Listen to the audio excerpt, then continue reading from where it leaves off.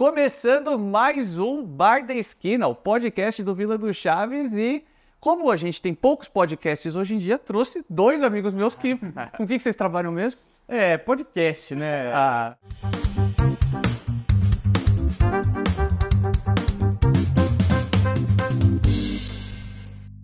A gente é da época do podcast que ainda era hype, né, meu? É, né? Agora já virou meu mecânico tem um podcast. ah, todo mundo. Até o Vila do Chaves tem um podcast. Vocês têm um podcast também, porra. Você foi um dos primeiros convidados, inclusive. Foi. Mas eu prefiro dizer ainda que eu sou comediante, entendeu? Ah. Meu filho começa a falar, não, meu pai é youtuber. Eu falo, não, não, não sou youtuber, eu sou comediante que tem um canal. Ah, mas saiu tudo. e aí ele quer agora a gente tá em todos vocês, tem o TikTok, ele quer falar que eu sou TikToker também. Ah. Ah, não admito isso. Tu tem limite, né? Eu passo mais ou menos por essa porque nos lugares eu ainda falo que eu sou roteirista. Você... Pergunta, eu fico meio na dúvida até eu explicar. Então, eu tenho um canal de Chaves, eu não falo assim, youtuber. Talvez. Daniel e Humberto, finalmente apresentá-los do Planeta Podcast, comediantes também. Obrigado pela presença. E hoje o papo vai ser, obviamente, sobre Chaves. A gente encosta nesses assuntos, mas também da carreira de vocês, do humor, de podcast, inclusive. Eu vou pegar umas dicas aqui, porque a gente tá começando agora. Os caras estão nessa já faz um tempo, né? Já vai fazer três anos em outubro agora. Caramba, tudo isso. cara. Pois é. E a, a gente foi, estreou na época da pandemia, né? Junto com uma galera, mas a gente estreou na mesma semana que o Podpah. A gente estreou junto. E naquela época tinha, tipo, cinco podcasts, eu acho, rodando. Que era a gente, o Flow, o Podpah, o Sistema Solar e o Podcast, que tinha parado, mas meio que voltou depois com o Di Lopes. Aí depois veio Inteligência Limitada, outros podcasts, mas a gente deu um, ah, um começo bom porque a gente era um dos primeiros e pandemia, né? Não tinha ninguém Uhum. fazendo nada. Então o podcast virou uma, um momento de diversão porque era um produto longo Uhum. e com pessoas que de repente não tinham dado entrevistas tão completas, né? Porque essas entrevistas de 15 minutos de televisão, o cara fica meio limitado a falar do projeto e não falar da vida e não conta histórias mais longas e tal. Eu acho até que a gente não deu sorte porque era logo nosso nicho, né? Mas a gente conhecia os comediantes porque a gente convivia com eles por causa dos shows. Então, era a primeira vez que os caras estavam indo num formato desse e falando com pessoas que entendiam do que eles estavam falando, do que eles sentiam. Então, acho que no começo a gente conseguiu eh, ter vários estouros, assim, com comediantes falando paradas que eles É. nunca tinham falado e que eles nem podiam falar, né? Uhum. Muitas vezes o comediante vai. Agora é um pouco mais livre, que tem muita opção de podcast, mas ele ia num, dar uma entrevista, o entrevistador já tava contra ele, né? Ele falava assim: ó, você não, isso aí eu não concordo com você, eu vou te questionar do porquê que você fez isso. E a gente sempre teve do lado da comédia, dos comediantes, então os caras se sentiam bem à vontade pra abrir o coração mesmo. É. E as perguntas, né? Tipo assim, se o cara vai numa entrevista normal, um comediante, geralmente as perguntas, ó, como foi a sua primeira vez? Como é escrever uma piada? Como é subir no palco? Tipo, coisas que a gente já sabe a resposta. Então a Sim. gente já tirava isso da frente e partia de um outro ponto que talvez fosse mais a fundo do que um entrevistador que não é comediante iria, assim, né? Então a gente é, perguntava coisas que a gente já sabia também. Porque no meio da comédia, no camarim, você sabia a história de um cara que tinha feito aquilo. Só que você já sabia a história, ou você já sabia o jeito que o cara pensava, ou você já tinha compartilhado um camarim com um cara, que aconteceu alguma coisa que é interessante o cara contar. Então a gente é, saía muito na frente na entrevista com os comediantes. E muitos deles foram a primeira vez no nosso, né? Sim, Tipo, o- o Albani, a Bruno Luiz, vários comediantes, o primeiro podcast que eles foram, foram foi o nosso, né? Que além do nosso podcast são os primeiros. Ele também era um podcast de comediante que a gente chamou os caras antes da galera que já tava chamando. Cada um chamava seu nicho, né? O Flow mesmo chamava muito gamer mais. Uhum. Então acho que isso ajudou muito a gente no começo, assim. E começou já com a ideia de vamos fazer um podcast de nicho, de comediantes, ou foi uma coisa meio. Ah, cara, já que estão chamando, por exemplo, o Flow tá chamando gamers e tal. Bom, como somos comediantes, vamos chamar. Vocês tinham noção que esse era um formato que vocês queriam seguir desde o primeiro momento, assim, fazer, putz, isso vai ser um nicho de comediantes? Sim, a gente queria. Na verdade, era o objetivo se manter nisso, né? Tipo, a gente acho até que a, a ideia era construir meio que uma, um lugar onde tivesse documentado esse momento da, da comédia e as pessoas contando coisas que não teriam em nenhum outros lugares, assim. E a gente, o nosso objetivo era que fosse o lugar do comediante, a casa do comediante. E a gente fez isso, acho que até mais ou menos no episódio talvez ali 60, 70. É, que aí a gente, tipo assim, tava disputando com um monte de gente grande, fazendo um monte de coisa é, aleatória, porque, né, eles não tinham, às vezes, o nicho tão bem definido. E aí a gente começou a abrir um pouco. Então a gente falou, putz, vamos fazer umas séries. Aqui é um podcast de comédia, mas vamos fazer umas séries. Vamos fazer a série aqui de crime, muito sobrenatural. Eram quatro episódios de cada, lembra? Ah. Vamos pegar os quatro mais interessantes Sim. e tal. Só que aí, cara, uma hora os comediantes estão em todos os lugares, é, os canais têm milhares de, de, de pessoas fazendo é, entrevistas, tipo, com o Binho Barrichello, sabe? Como é que eu vou competir com o Binho Barrichello? Tipo, o Ventura é grande, mas o Binho Barrichello é mundial. E aí... porque é, a gente teve que abrir, a gente teve que tentar algumas outras coisas. E nessa a gente acabou acertando várias porradas de outros nichos. É. A gente falou, tá, vamos, vamos tentar esse outro lugar de entrevista. que eu acho assim, o comediante, o número de comediantes grandes que tem público que vai atrair um clique por ser ele mesmo é limitado. Sim, sem dúvida. E no começo a gente ia fazer uma vez por semana. Só que o negócio começou a virar a nossa principal fonte de renda e tipo, começou a dar muito dinheiro. E cara, o YouTube, ele é muito bom em te viciar, né? Sem Você dúvida. quer ver o número crescer, você quer ver bater outras coisas e tudo mais.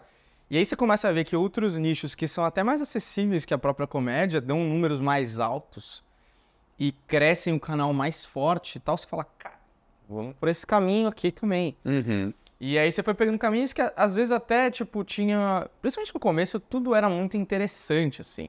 Mas depois de um tempo, cara, a gente tá no episódio 530, sei lá. É, chegando nos 15, 30. Nossa, muita coisa. É muita coisa. Depois de um tempo que você tá falando com o cara do. pela 18 vez, com o cara do. ou do sobrenatural, ou do crime e tal. Putz, eu fui comediante, cara. Uhum. Sabe assim, eu. Por exemplo, quando você foi, você não é comediante, mas você tem um- um- uma parada que é especial, assim, que é o Chaves. Sim. E pra gente era um especial aquilo. Tanto é que, por exemplo, agora a gente tá na Play TV, a gente teve que escolher três episódios pra colocar lá na, na grade uma vez por semana na primeira temporada. E um dos episódios que a gente escolheu é o seu. Ô, muito obrigado. Não sabia. É, então. E. Até hoje. assim. Caramba, que legal, cara. Pô, fico mó feliz, de verdade. Porque pra mim foi a minha primeira participação em podcast também. Eu lembro. Nossa, eu tava nervoso pra caramba. Cara, eu vou te dizer que assim, nós somos muito críticos com o nosso próprio trabalho, né? Falo pra galera, assim, eu sempre dou risada dos meus primeiros vídeos. Mas às vezes eu vejo o vídeo de seis meses atrás, eu já falo, hum, isso aqui eu já acho que eu melhorei. A gente sempre acha que a gente ainda não tá bom o suficiente, né? E que eu acho que é saudável, de certa forma. Mas o do planeta, eu vejo vocês mó soltos e tudo mais, eu tava tipo. é, sim, é uma demora pra concluir um pensamento. Porque além de tudo, eu tinha na minha cabeça aquela coisa de, poxa, eu sou um apresentador. Aqui eu tô respondendo perguntas um papo mais livre. É, eu acho que eu não estava tão preparado, mas isso é a minha visão. Então, ouvir de vocês, ouvir até mesmo do público, falar, pô, a galera gosta, talvez seja o meu lado cri-cri comigo mesmo que fica pegando na minha cabeça, sabe? Parte também, acho que, Faz parte. acho que nunca vai deixar de ser se é uma coisa sua. Com o tempo você vai acostumando a lidar com as situações e meio que você, sei lá, você supera mais fácil, sabe? Sim. Vou concluir, mas eu lembro que, não sei se a gente já comentou isso, mas vou contar aqui, para o pessoal do seu canal, talvez é, é interessante. O Renan me mandou mensagens antes, eu, eu mandei convidando o Renan, e ele me mandou mensagens meio que preocupado de como seriam as coisas, porque ele achava que ele não poderia dar conta do negócio. Eu falei, Renan, você tá maluco, cara? Relaxa, velho. Dois trouxas aqui, você vai conversar com dois trouxas sobre um assunto que você domina pra caramba. A gente gosta do seu trabalho. Então, tipo assim, é... tive que fazer uma massagem. Não, e Teve, ele, teve mesmo. ele falou, não, eu acho que eu falei uns palavrões. Eu falei, é. Aí ele falou, não, porque meu público não tá acostumado e tal. Eu falei, cara, eu acho que eles vão ficar bem. tá? Então, tudo isso pesou, foi porque eu fiquei falando, cara, eu estudo, escrevo e apresento, estudo, escrevo e apresento. Na hora que você tá na mesa, eu falei assim, e se me perguntarem alguma coisa que eu não sei responder? Eu sou uma fraude, É. sabe, na minha cabeça. E, e outra coisa, nos meus roteiros, ainda mais porque eu levo muito em consideração como que é Chaves, então eu tento seguir uma linha muito próxima de estrutura de roteiro. Chaves não tem palavrões, eu não falo palavrão. Mas é aquilo, né? Na vida normal, É. quantas pessoas você conhece que não falam um palavrão? Quem bate o, dedinho na quina e fala raios. Não, ninguém faz isso, sabe? Ó céus, droga. Então, e no, no começo eu tava muito, ai, mas será que vai ser assim? Não. E vocês tiveram uma participação muito grande nisso, de dar uma destravada na minha cabeça, tipo, mano, é internet, só que não é mais a TV, com limitação de, de vocabulário, de uma limitação tão grande de tempo. Agora pausa o assunto que entrar o patrocinador, deixa o melhor pro final. Não, não tem essas estruturas de talk show de TV, de entrevista muito engessada. E o- a participação no Planeta me deu uma boa destravada nesse aspecto. E te humaniza, eu acho também. Sei lá, por exemplo, você tá acostumado a lá fazer uma parada que é bastante televisiva, no sentido de você, de um jeito muito inteligente também, fazer no formato do Chaves, porque você tá querendo encontrar um mesmo público, que é, às vezes é familiar, ou, ou nem sempre, mas não importa, você tá tentando se encaixar ali no produto que você é especialista. Agora, quando você vai num podcast e o Renan fala palavrão, ou exprime uma opinião e tal, é, te aproxima um pouco mais também, porque falam, cara, aquele apresentador, ele é humano também. É aquela coisa que a gente sempre fala, né? Tipo, a gente não sabe muito, hoje até talvez saiba um pouco mais, mas em algum momento a gente não sabia muito quais eram as opiniões do Celso Portioli. Sim, Tá sempre feliz, sempre alegre, torta na cara, É. mas você não sabe muito. Puta, é- é- eu queria ver o Celso Portioli falar, puta saca essa merda, sabe assim? Sim. Você falar, isso é, é- Pô, eu sou mais parecido com esse cara que eu pensava, sabe? Então eu acho Total. que foi legal também, assim. Acho que o seu público nos comentários adorou, assim, a Uhum. sua participação no podcast. A gente gostou muito porque não era um comediante, mas era um cara especialista em comédia, assim, ou, ou num produto de comédia que é muito presente para todos os brasileiros, é bizarro. E eu sei, aquilo que a gente sempre fala, e a gente tem várias conversas sobre isso, né? E eu acho que a gente teve uma conversa naquela época sobre como a gente se sentia com o retorno das pessoas nos comentários, e eu acho que hoje talvez a coisa tenha mudado, a gente pode até depois entrar nesse assunto. Mas é, a gente se abalava muito, né? Quando se era falado, porque acho que os dois canais estavam no momento inicial ali de reconhecimento, então a gente se abalava com as pessoas que iriam lá para criticar, mesmo tendo um monte de gente a favor e junto com a gente. E aí hoje eu, eu entendi, assim, que tem uma galera cri-cri mesmo, sabe? Assim, Uhum. Claro que em algum momento você vai soltar um palavrão e claro que é legal você adaptar o conteúdo para ser um pouco mais clean para atingir todos os públicos. Mas se a galera ficar se apegando nisso, É. putz, aí não é a questão, não é o palavrão, entendeu? É uma Exato. pessoa lá que quer tentar, sei lá, tirar um pouco do que ela tem dentro dela e passar para os outros para tentar deixar a vida dela mais leve. entende? E é muito curioso isso. A gente bateu um papo no, com o, o Danilo do Tokudok. A gente falou sobre a parte de comentários também. E vai muito de encontro a isso. Porque nós começamos num- num- muito próximo, assim. Na verdade, nem tanto, mas o, o Vila estourou duas semanas antes de entrar a pandemia. Antes disso, tudo bem, começou em outubro de 2019, mas aquele começo que só a família estava assistindo, os amigos, você jogava nos stories e ninguém clicava, sabe? Aquela coisa. E só foi pegar, assim, muito forte exatamente na pandemia, aquela coisa, todo mundo em casa, né, tenso tal, então buscava alguma coisa mais divertida para assistir. Teve um papel muito grande nesse, nesse aspecto também, que, assim, a gente não imaginava que ia cumprir, né? Ninguém imaginava uma pandemia também. Então, quando veio esse ponto, eu acho que a gente não estava tão preparado. Quando eu- fui lá, vocês estavam já no. O meu episódio foi 50 e pouco. Ah, por aí. Eu acho que foi 50 ou 45, um negócio assim. Uma coisa assim. E eu foi a primeira vez que estava no podcast, o canal estava crescendo, mas a gente estava num momento muito próximo, né? E para mim os comentários ainda pegavam dessa forma. Porque assim, quando você tá por trás, você sabe todo o trabalho que você tem para fazer aquilo. E é tipo quando alguém olha pro teu filho e fala: teu filho é feio. Por quê? Porque ele é feio, ninguém quer. Você dá todos os atributos porque ele é bonito. Alguém fala: "Hum, eu quero chutar a cara do seu filho. Sim. E você vai, do, vai doer aquilo, sabe? Então, sempre teve momentos assim de eu olhar e falar, nossa, de, de me abalar. E tem dias, né? Tem dias que nada tá te abalando. Tem dias que o, o Pedrinho 13 com a foto do Minecraft, ele manda. Que cara chato, e aquilo te deixa mal, assim. Tem dias, assim. Mas de uma forma geral, eu sinto que é muito de todos. o- toda a galera que trabalha com YouTube e tal, que todo mundo já passou por essas fases, e depois de um tempo você entra num ponto que é, cara, eu leio e tento filtrar o que vai me acrescentar E o que daqui é gente que tá realmente procurando, pelo menos porque a pessoa entrou pra reclamar. Então ela, tá, ela assistiu 15 minutos de vídeo procurando algo pra ela reclamar, então deixa, reclama. Pô, eu já Fazer recebi hate porque eu mexi muito no boné que eu tava usando. Eu recebi um hate no vídeo de vocês que eu sorria demais. Ah, é? Eu vi o. Chato. Fecha a boca.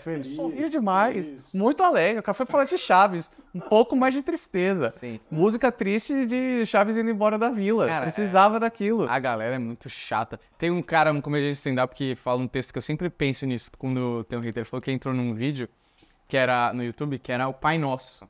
Que era só a letra do Pai Nosso e o cara rezando, assim, uma voz rezando o Pai Nosso. Aí a pessoa comentou assim, muito ruim. Caralho, você clicou num vídeo do Pai Nosso e criticou, tipo, cadê Jesus no seu coração, tá ligado? Porra! Então, quer dizer, vai ter hate pra tudo, velho. Não tem como. É, clicou no Pai Nosso assim, esperava ver Ave Maria também. É. Vacilo, sabe? Você fala, Pô, é tipo isso. Então sempre vai ter. Quem quer procurar isso vai encontrar. E cabe filtrar, porque também entra aquele ponto. Aí você pega a pilha e responde só aquela pessoa. É. Aí o cara que tá vendo, que tá comentando sempre coisas legais, fala, pô, tô aqui mandando mensagem toda vez bacana. Então, atenção que merece. Exato, então você tem que dar uma filtrada nesse aspecto, o que nos leva também a uma pergunta que eu queria fazer para vocês. Isso a gente tá falando de gente comentando, mas vocês já receberam, sem entrar em polêmicas e tudo, assim, também qualquer coisa a gente corta ou não, né, Felipe? A gente não corta, né? Não, deixa. A gente fala que não, sem querer entrar em polêmica, só para maciar, né? É, já isso, já. Isso aí, podcast. Então, Precisa render, né? qualquer coisa aqui também, você só põe a thumb. Não, dessa tem uma boa, desculpa, um breve parênteses. É que essa é muito boa. No podcast que eu fui com vocês, que eu fui lá no, episódio de vocês, em algum momento a gente falou sobre o relacionamento do Carlos Villagrán e da Florinda e do, do, do Roberto, se teve mesmo alguma coisa de traição e tudo mais. Eu falei, não, foi em momentos separados, a gente não consegue precisar e tudo mais. Alguém pegou aquele corte, porque isso eu ri muito, cara. Alguém pegou aquele corte, jogou num canal de cortes aleatório, e escreveu: o Renan fala se Kiko é, pegou a dona Florinda, alguma coisa assim.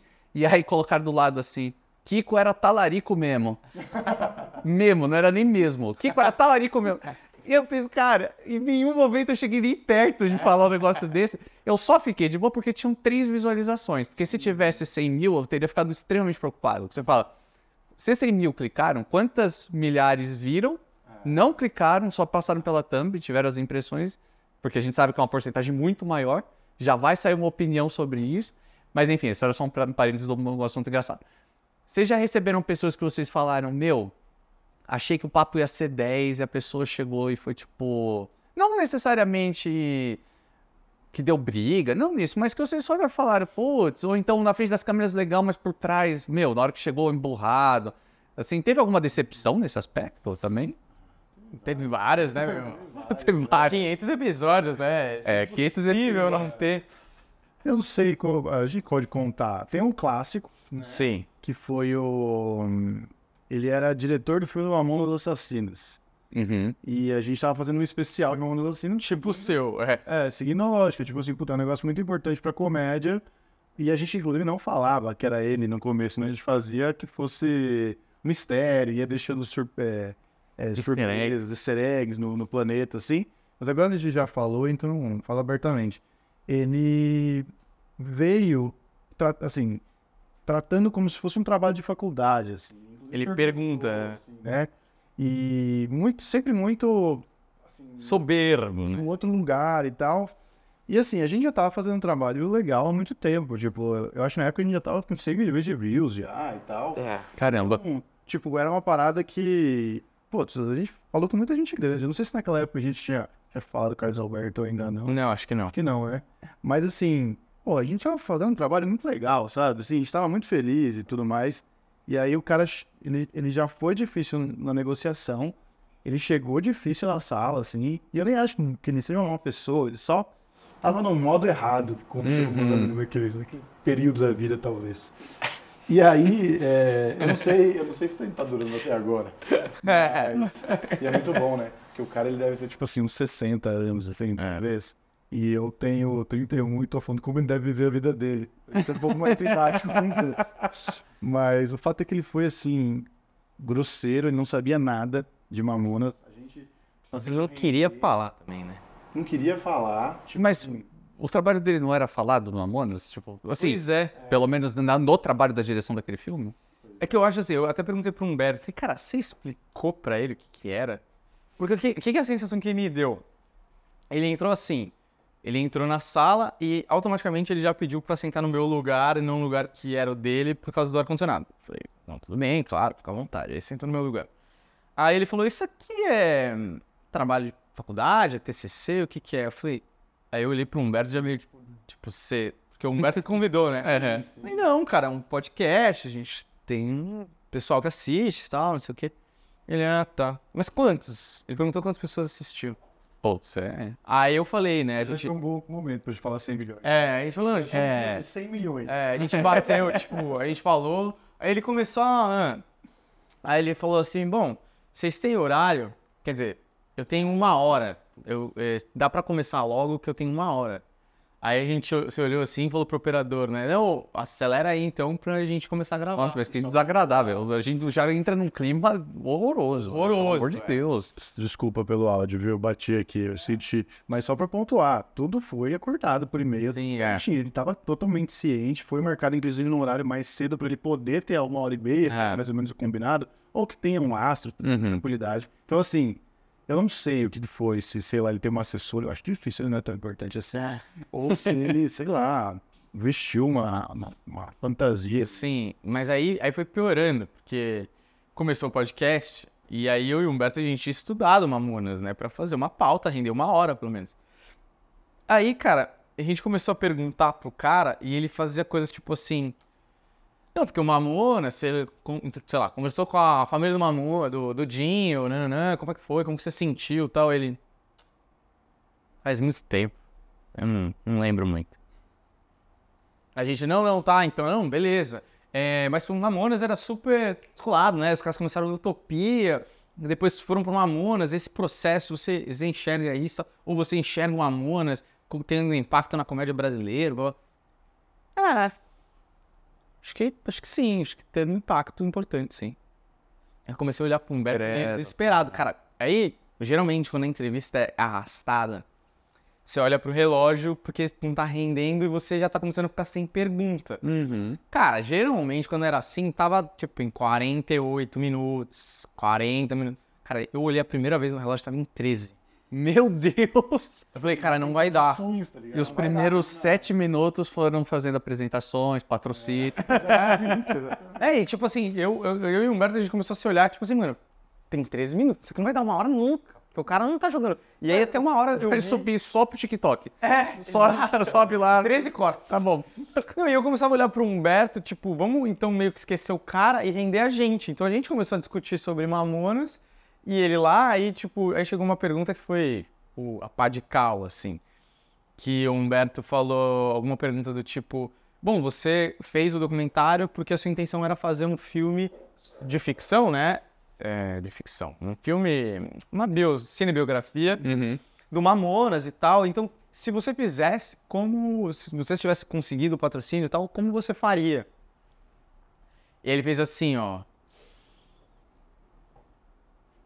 Cara, não sei. Só que eu e o Humberto, de uma maneira telepática, a gente tava tão cansado dele, a gente falou, mano, foda-se, deixa ele no silêncio. Eu não vou responder porra nenhuma.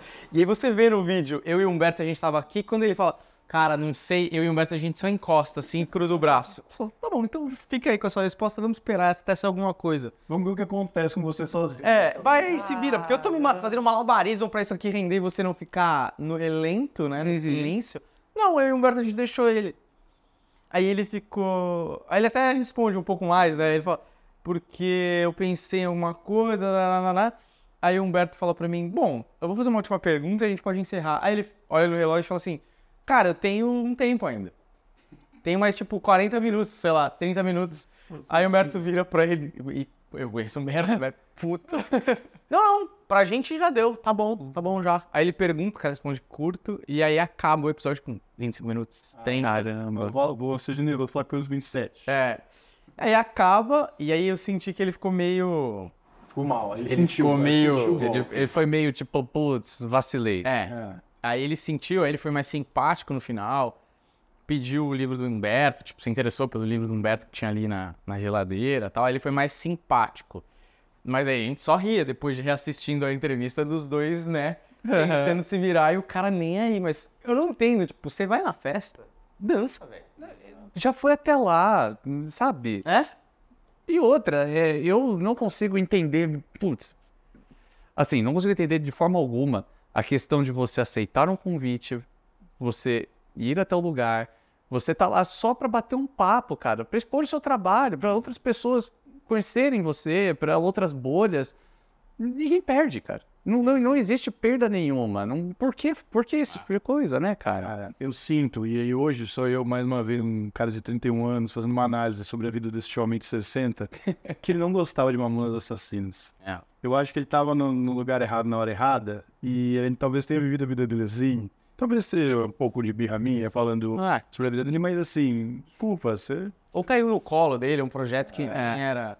Pode acho ser, que- é uma boa teoria. Tipo, o cara trabalha numa produtora, aí chega um projeto do Mamonas, puta, é um bagulho que tem muito cara que vai dar certo, porque é Mamonas, é gigante, aí o cara pega. Só que aí, meu, não aceita na entrevista, né? Se você fez tudo isso na sua vida, e se você toca a sua vida assim, talvez por isso ele tenha aceitado também. É. Quer dizer, ele, ele vai aceitando coisas que não tem nada a ver com ele, que ele não quer fazer, e é tudo um saco pra ele. E por isso ele acabou no Planeta Podcast. Ah, e todas as entrevistas que a gente dá, a gente fala, qual foi a pior entrevista? Fez, cara. E é a única, é a única entrevista da história do planeta que não foi pro ar. Ah, e é isso que eu ia perguntar, vocês nem publicaram isso? Não tinha como, né? A gente ia colocar o cara numa posição ruim, a gente ia se colocar numa posição ruim. Mas podia viralizar como quase um spin-off de The Office, né? É, negócio. não, eu é- poderia. É bem ruim mesmo. A gente tá fazendo um, um quadro agora chamado Scrotocast, que é a única, o único podcast Muito bom. Você tá assistindo? Assisti. Legal. Que é o único podcast sincero. A gente leva os convidados e fala a verdade na cara deles, entendeu? Fala assim, olha, você tá péssimo. E esse episódio eu podia muito estar como alguma coisa desse Scrotocast, porque realmente... Mas é que ele que foi escroto com a gente, né? Porra, mas teve um recentemente que você falou assim, foi o único que não foi pro ar, teve um que foi pro ar e saiu. Ah, é verdade. Não vou falar o nome da garota aqui também. Sim. Mas a gente, putz, estava ali num momento de desespero, ali tentando várias coisas diferentes. E ela fazia uma parada meio. Segredo, né? Um segredo e tal. Que, pô, tem coisas legais sobre isso, tem gente legal que faz isso. E ela chegou assim, acelerada, e era uma coisa muito assim, quero parecer uma coisa que não sou. Hum, Sabe? Super vaidosa, né? Super vaidosa. Tipo, arrumou o cabelo umas três vezes antes de começar. Tipo, botava. Não, peraí, peraí. É, arrumava o cabelo e a gente já. Puta, isso aqui vai ser esquisito, né? Parava no meio e queria regravar uma resposta. Eita! Assim, uma coisa, uma pessoa que busca tudo menos o natural, assim. Mas gravamos o papo lá e não foi nada demais. Passou, entrou no ar. Depois de um tempo, ela falou: Olha, eu quero que tire do ar, porque vocês trabalham com eh, essa outra vertente que a gente teve, teve o programa por muito tempo com a Vandinha, né? Que sempre, eh, participou no SBT, sempre tá lá no SBT, que é uma vidente. E ela é da Umbanda e tudo mais. E aí ela pediu para tirar a- o programa dela do ar, porque ela não queria estar em um lugar que estivesse relacionado de alguma forma com a espiritualidade e o caso de ter uma vidente, porque ia contra o que ela pregava. E é uma coisa completamente científica, né? Não tem nada. Caramba! Não, mas então. Ah, ela, ela viu a galera pedindo pra tirar episódio do Flow depois do Monark, provavelmente. Falou, acho que eu vou fazer igual. Mas. Não, não, eu tô comparando as duas coisas, pelo amor de Deus. É só, é só uma piada. Eu tô tentando ser engraçado de dois humoristas, né? Que péssimo momento, desculpa. Mas a gente entende. né? Não, mas você sabe o que eu acho? Eu acho, na verdade, de verdade mesmo. Porque assim, o canal já tinha, ela provavelmente estudou o canal antes de ir. Sim. A gente soltou o episódio dela, tipo, um mês depois ela pediu pra tirar. O que eu acho? Eu, eu acho que não foi tão bem quanto ela esperava que iria. Pode ser. Deu um pouco view num canal que, assim, aquele tipo de temática, o nosso canal, é- vai muito bem. Uhum. E aí, cara, eu acho que ela deu uma sentida no golpe, assim, tipo, putz, será que eu deixo aqui no ar com esse número de views e tal? E aí acho que ela pediu pra tirar pra não ter a, a parada. Mas assim, Mas um motivo também, é, enfim, não muito plausível na minha opinião. é. né? Assim, Assim, ela me manda mensagem. Agora deu uma parada, assim, mas ela me mandava mensagem, tipo, sei lá, uma vez por mês. Ah, achei um corte aqui no, sei lá. Às vezes, porque é isso, a gente solta as coisas no, na internet e as pessoas vão pegando e vão soltando em outras redes sociais, vai passando pra lá e pra cá.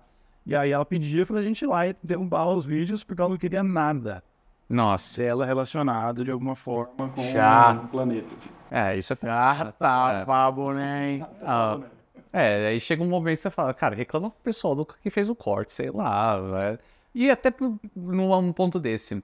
Como hoje a gente está produzindo mais para outras plataformas e tudo mais, alguns vídeos bombam, né, nessas plataformas, tipo, conteúdo mais curto e tal.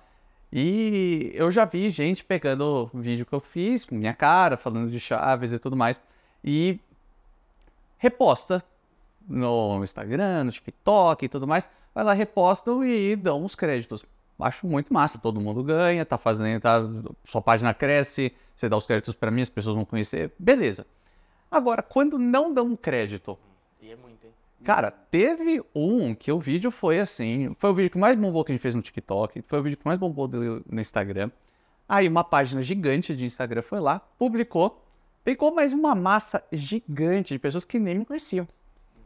Sem crédito, sem nada, com apagaram o logo do Vila, colocaram o logo deles em cima. É muito filha da puta. Cara, isso me tirou o sono, porque eu acho de uma desonestidade assim tão grande com quem pesquisou, com quem gravou, com quem teve que criar uma base de fãs para ir lá, fazer, enfim, com todo o trabalho da pessoa. Já aconteceu com vocês isso? Tipo, tipo só tiraram sem crédito, sem nada? E como que vocês ficaram? Puta, hoje a gente nem liga tanto, mas, mas o que ficava me irritado é que atrás do convidado ficava televisão escrito Planeta Podcast. E aí o cara na maldade, no TikTok, por exemplo, ele fazia de um jeito que ele cortava o Planeta Podcast. Da TV atrás do É. cenário? Então, tipo, ele dava um zoom assim na cara da pessoa.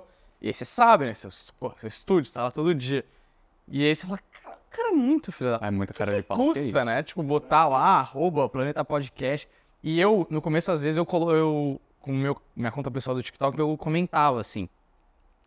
Porra, nem pra dar o crédito pra nós, hein? Valeu. E aí tinha uns que nem respondiam e tinha uns que vinham com medo de eu derrubar. Hum, Do cara, não, não, tá aqui, ó, já mudei, desculpa aí, não sei o que, não sei o que lá. Mas tinha uns canais, lembra, no YouTube, que a gente ficava putaço. Assim, cara, tinha uma época que a gente tava bombando muito com esse programa da, da bandinha. E, e aí, tipo assim, a, era, era um programa que a gente fazia, tipo, uma vez por semana. Então, os principais acontecimentos da semana estavam no programa e a gente soltava no dia seguinte os cortes, porque é isso, tem o, o tempo do cara trabalhar e fazer bonitinho, então, e tudo não sei o quê.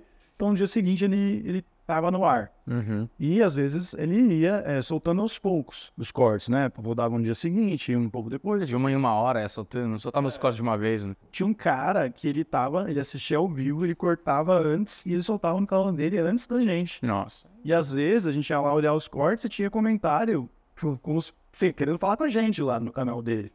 E em nenhum momento, tipo, é, sei lá, deixava claro o conteúdo dele ou qualquer coisa. E aí chegou no ponto da gente falar, ah, mano, tipo, você tá soltando antes, você tá avisado que da próxima vez que acontecer, a gente vai derrubar. Porque você soltando antes, você pega muito mais alcance que a gente. Claro. Então a gente perde dinheiro. Tipo assim, você basicamente está, inclusive, quebrando a empresa da qual você pega o seu conteúdo para ganhar o seu dinheiro. É. Porque Exato. não dinheiro pra comprar isso aqui, sabe? E tem os malandrops, né? Porque assim, no- na descrição do YouTube, onde você dá, daria o crédito, você escreve lá e aí o YouTube ele limita lá uma parte. Se você quiser ver tudo que tem Hum. é, ali na, na legenda lá que você bota do seu vídeo, você tem que colocar mostrar mais e aí ele desce e mostra o resto. Então o cara dava o crédito é, abaixo do mostrar mais. Então ele colocava como se fosse o canal dele. Então para você ver o crédito, você tinha que ir lá e clicar no mostrar mais. E aí no final tava lá crédito, Planeta Podcast. Então o cara de um jeito. Meu Deus, cara. Ele, tipo, a galera no comentário assim, pô meninos, mudou o logo. E a gente, mano, a galera tá achando que a gente mudou de canal. É muito sacanagem. Tudo bem, tem umas tia lá, né, meio perdida, mas, mano, o cara tava fazendo meio de uma maneira meio dúbia, no mínimo. Sim. Não, e é muito, muito, muito feio precisar chegar nesse ponto, porque, cara, tem como você fazer de uma forma só legal, cara. Só dá crédito normal, vai lá, pede autorização pra repostar, fala, gosta do seu conteúdo, posso repostar? Faço propaganda de você, minha página. Enfim, não muda nada na vida da pessoa, sabe? Mas é muito louco isso. E uma coisa que eu achei muito curiosa do, do, do, do podcast de vocês foi quando vocês entrevistaram o Danilo do Desimpedidos. Que eu já assistia Desimpedidos, conhecia o Felipe, que tá aqui gravando. Tem um canal de futebol também. já vive também dentro do, do universo. O cara é nosso PVC, o cara sabe data de tudo aqui, meu. E. É, já. Qual que é o nome do canal? Que jogo foi esse? Pediu autorização pra Jojo Todinho pra usar. É, Mas não foi por causa disso. né? O que tiro foi esse? Foi, foi meio por... Ou menos. Ah, tá. No inconsciente. É. Mas é mais bom. bom. Foi- É? E uma coisa que eu achei muito legal é que quando vocês entrevistaram ele, pô, o Danilo super gente fina, assim, não conheço pessoalmente, já troquei ideia no, no de Instagram, assim, quero convidado para vir aqui também. Aliás, conversei com eles depois que ele foi no podcast de vocês, e ele falou, putz, eu conheci o canal do Vila do Chaves por conta de ter, de ter lá. Então, assim, é um intercâmbio de um monte de gente que trabalha na mesma plataforma. É como se fossem vários colegas de, de, de profissão que indiretamente cada um tá fazendo o seu, mas todo mundo vai se conhecendo e eu acho muito legal como colaborações, como você entrevistar pessoas e tal, é, vai abrindo esse leque de, de coisas. É uma das intenções com esse quadro. Conhecer as pessoas pessoalmente, sair um pouco do estúdio, trocar uma ideia sobre Chaves e tal. Vocês tiveram outras experiências com pessoas que gostam de Chaves no, no podcast também? Assim, de alguém se falar, meu, esse cara do nada solta umas referências, ou então vocês soltarem piadas de Chaves e alguém as pessoas pegarem? Ou é uma coisa meio assim, não, público muito nada a ver, é um cara ou outro, tipo o Danilo, que também gosta? Velho, Chaves é total, é, é paixão de todo mundo, assim, que vai lá. Eu não conheço um comediante que não gosta de Chaves. Ah. Conheço um ex-comediante que não gosta de Chaves, talvez por isso. É. Que fracassou, tá? Como comediante. Cara, eu acho que todo mundo que vai lá gosta muito. Inclusive, muita gente, além do Danilo, eu acho até que o Danilo comentou também sobre, sobre vocês lá. Mas é muita gente que vai lá fala no papo com, com o Vila do Chaves e fala de Chaves. Que legal. Cara, eu tava pensando que Chaves, ele meio que ensinou pra gente o que, que era engraçado, eu acho, assim. Talvez a gente não tivesse noção é, daquilo que a gente estava observando, do quanto tecnicamente aquilo era absurdamente bom.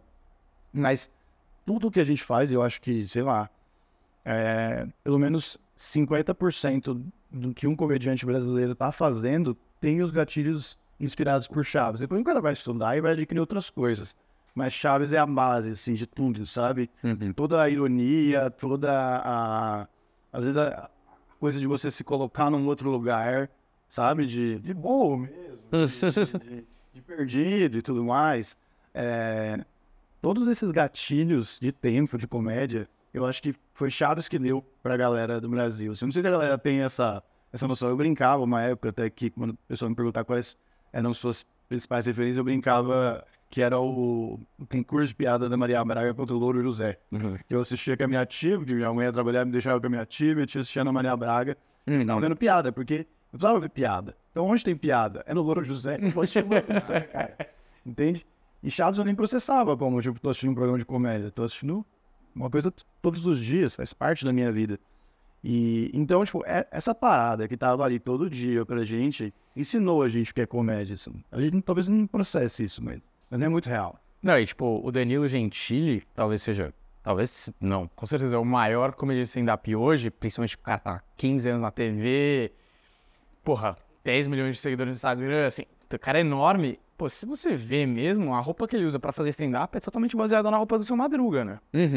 Tipo, eu lembro, há uns 10 anos atrás ou mais, ele ter feito um especial sobre Chaves pra UOL. Sim. Você deve ter visto em algum momento. E ele vai com a roupa do seu Madruga e ele fala umas curiosidades e tal. Você fala, caraca, eu nunca tinha percebido que o Danilo, a persona do Danilo naquela época, pelo menos, era muito seu Madruga, né? Do perdedor, do cara que trampa, mas meio vagabundo, né? Porque o, o seu Madruga é meio dúbio, né? Ele é vagabundo, mas ele é o único que trampa, né? Sim. Tá sempre trabalhando no final do dia.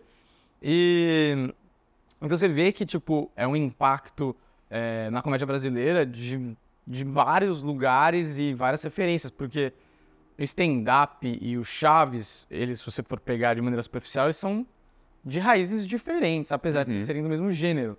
Mas você vê que mesmo assim, tipo, o Danilo, cara, ele ama Chaves. O Di Lopes, o cara ama Chaves, tá Uhum. ligado? O Di Lopes, mano, esses dias eu tava vendo uma fritada que ele fez. Eu não lembro quem, acho que o Serafim foi sentar e ele fez aquela piada do- de, de levantar, que é um clássico. Ele pôs o processo. Depois no processo, tipo, ele gosta muito, assim.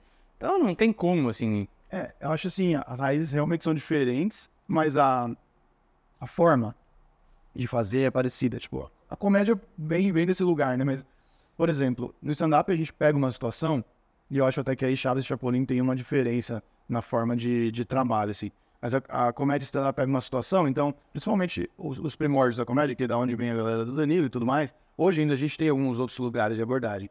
Mas era assim, ó, vamos falar de amendoim, de pote de amendoim. O cara vai pegar o pote de amendoim e ele vai falar, putz, por que, o pote é aberto desse jeito? Por que, que o amendoim tem, é, uns tem casca, outros não tem? Ele vai pegar cada uma das, das coisinhas, botar uma lente de aumento ali e vai abordar cada uma delas. Uhum. Chapolin, a gente tinha uma coisa, tinha um arco dramático muito mais definido, não que Chaves não tivesse, mas ele, ele ia na, na mais na premissa da história, né? Sem Tá dúvida. acontecendo.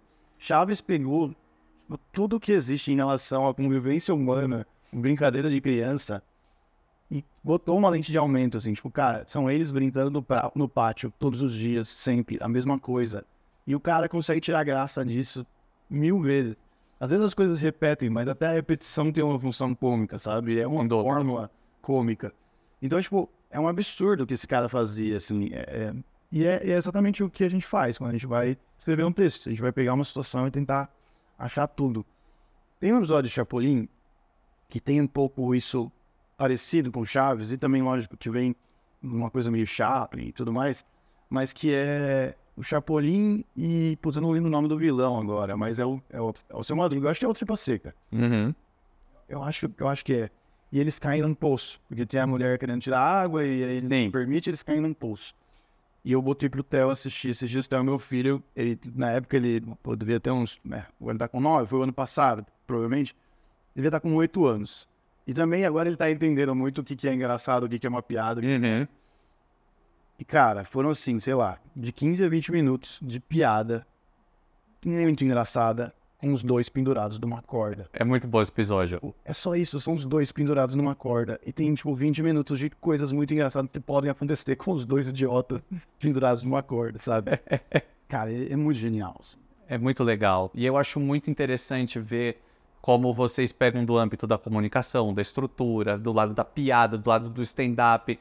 Você entende, por, por exemplo, por que, que o Danilo Gentili é tão fã?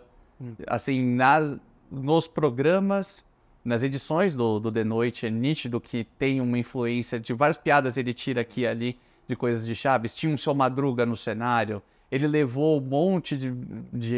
Ele levou vários atores várias vezes no programa. E é muito legal que ele conversando. Não me lembro se foi com o filho do Roberto, mas ele comenta, ele volta para falar sobre Super Gênios da Mesa Quadrada, que é um programa super obscuro. Só quem é mais fã mesmo conhece que foi antes de Chaves e Chapolin. E o cara traz aquilo na TV aberta, assim, para um público olhar e falar: Meu, é muito mais do que realmente passou no SBT, dentro do SBT. Eu acho isso muito legal, assim.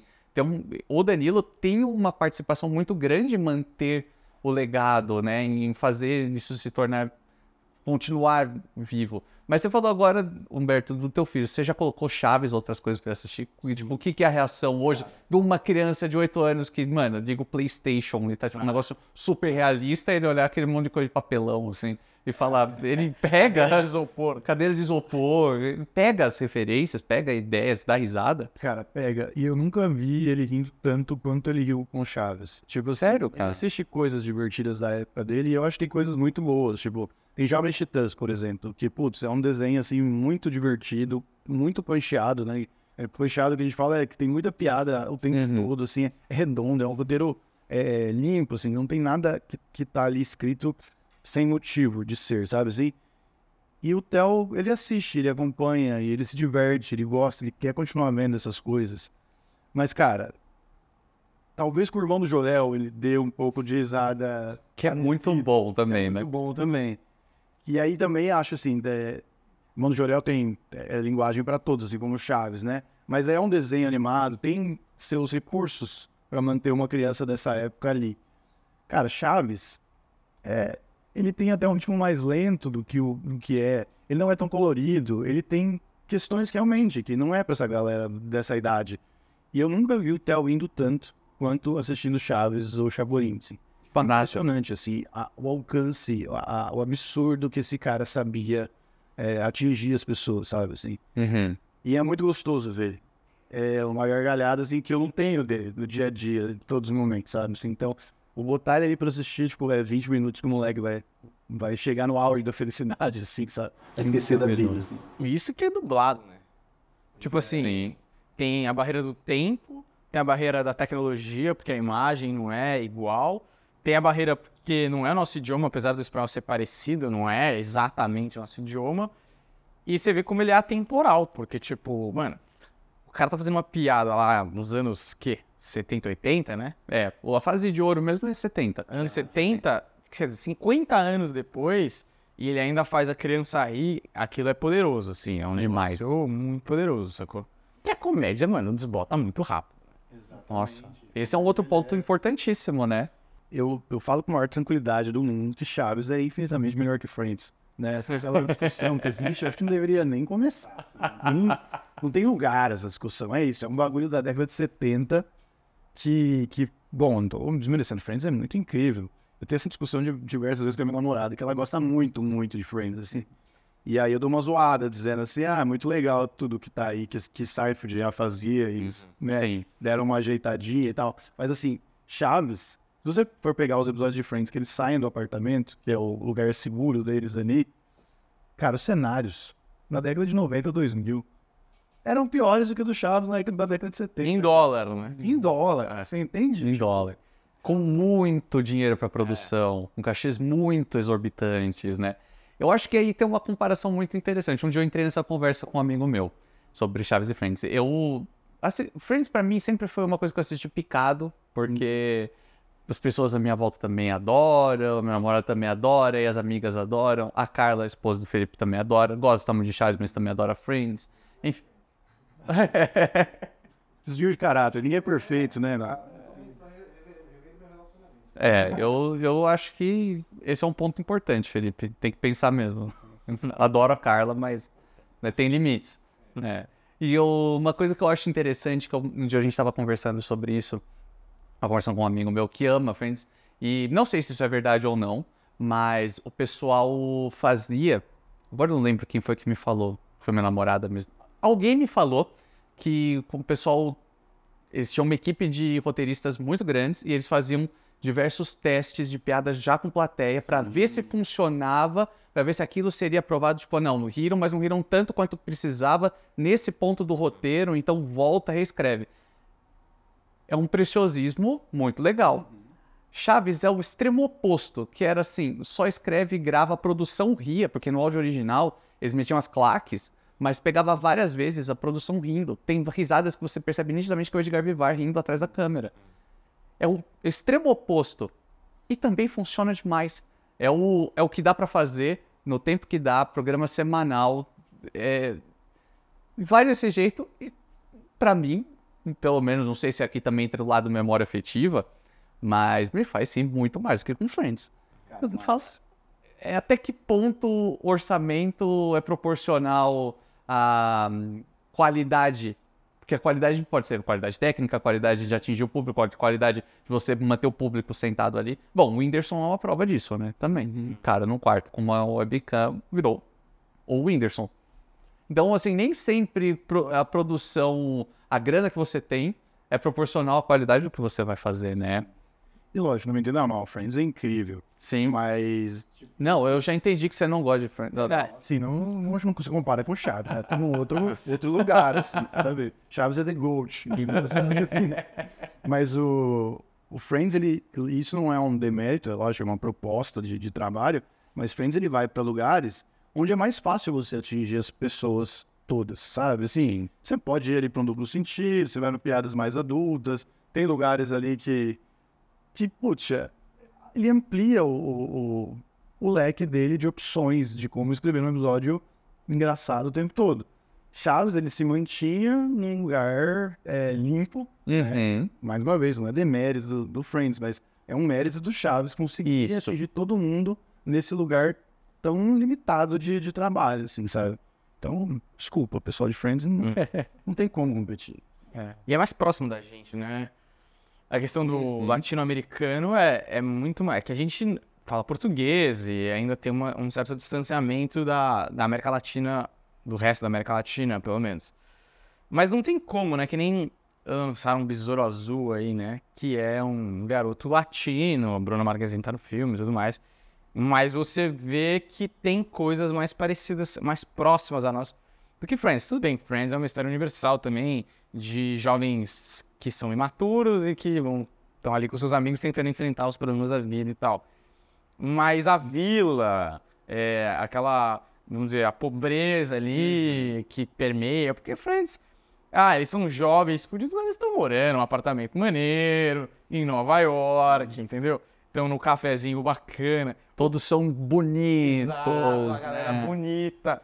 Porra, você olha pro Nhô e você fala, tinha uns dois na minha escola, entendeu? É, é isso. Todo mundo tinha o seu Madruga como vizinho. É. O cara que. A, a bruxa, que dá medo da bola cair na casa dela. Isso é muito mais próximo, né? Tal. São produtos diferentes, de épocas diferentes, mas quando a gente traça um paralelo, tem coisas similares que cabem em comparações, sim. Que eu já vi essa galera falando, mas não já dela a ver com Friends. No final das contas, tem muita coisa a ver.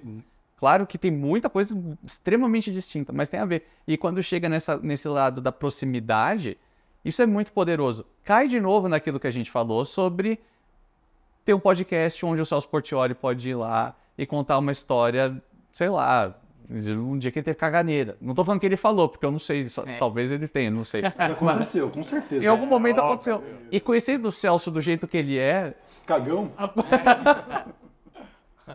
eu ia falar que engraçadão, do jeito como, como ele tá curtindo, ele até começou o podcast dele agora, a chance dele trazer isso na mesa dando risada é enorme. Se ele não trouxe, uma hora ele vai trazer. E, bom, falando de SBT, de Chaves e tudo mais, pô, vocês entrevistaram o Carlos Alberto.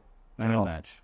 Pô, o cara é um totem da comédia, assim, no, no, no Brasil. O cara, pô, enorme. Como que foi? Assim, que, como, como preparar uma pauta pra falar do Carlos Alberto com 80 e tantos anos, uma carreira gigantesca? Tipo assim, como você fala, ah, tá, tenho duas horas pra falar com o cara. Cara, foi tenso. Primeiro que o jeito que se deu foi muito doido, porque a gente não foi atrás dele, né? Sério? Ele ligou pra gente.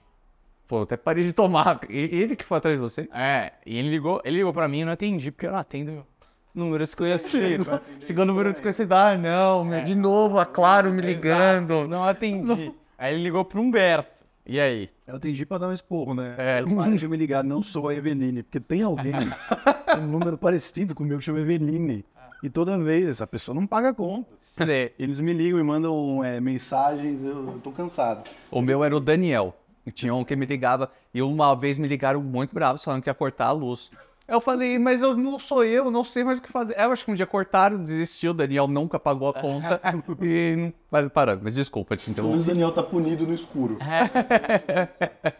Mas aí ele, ele ligou e falou que era o, ah, o Carlos Alberto quer ir no podcast eu não botei muita fé que era real, né?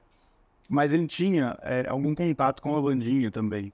Então, tipo, não, beleza, é o Carlos Alberto e, e beleza, vai acontecer isso aqui. Muito surreal.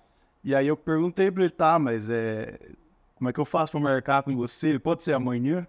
Isso era uma sexta-feira. Sexta-feira. Cara, a gente nunca grava de sábado, assim. A gente... É muito raro a gente é, ir lá no estúdio, tipo, num dia atípico, assim. Ele falou, pode ser amanhã? Eu falei, claro que pode. A gente dá um jeito. Você como é quiser, meu amigo. E aí, cara, foi de um dia pro outro, assim.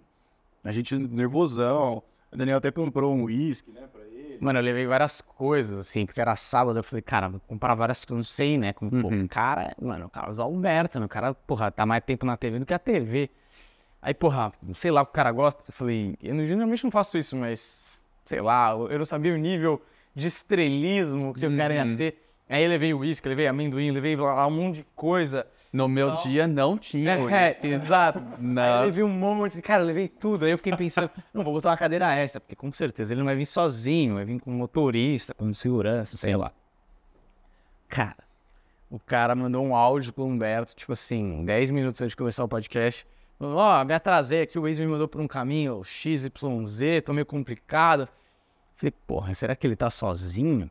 Aí, tipo, ele parou o carro na rua, foi andando, tipo assim, pô, o cara tem 86, né, mano? O cara não tem 28.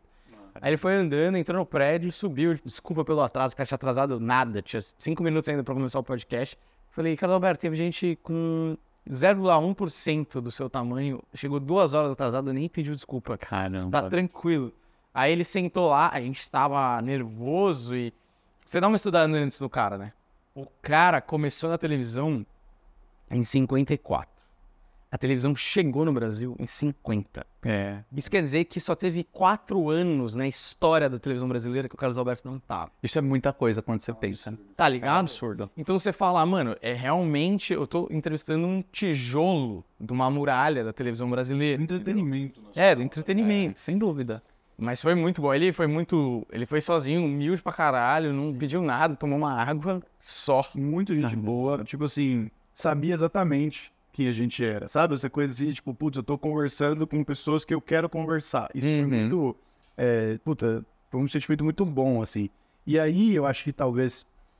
O único podcast, de aspas, que ele tinha ido antes foi o do Rafinha. Mas não era nem podcast, era uma entrevista curta que o Rafinha ia na casa das pessoas. Uhum. E o Rafinha ainda fez uma coisa meio que de oito minutos, que era naquele momento Sim. que acho que durou um pouco mais que oito minutos no caso do Carlos Alberto, mas ainda era um resumo do resumo. Então, o Carlos Alberto não tinha aberto o coração, contado histórias. E como a gente se preparou e e estudou o cara, a gente sabia exatamente coisas que ele nunca tinha falado, que nunca tinham perguntado. Então a gente saiu de lá com essa sensação que eu falei lá no começo do- da entrevista, que a gente tinha realizado um documento importante para a história da, da comédia, do, do entretenimento, sabe? Ele contou histórias de ele indo pra praia com os filhos Santos de carro, tá ligado? Sim. Um negócio assim muito absurdo. E, e aí foi uma porrada na época, ao mesmo tempo que todos os tabloides recortaram alguns trechos da entrevista. A gente achou até que o Alberto ficaria bravo com a gente.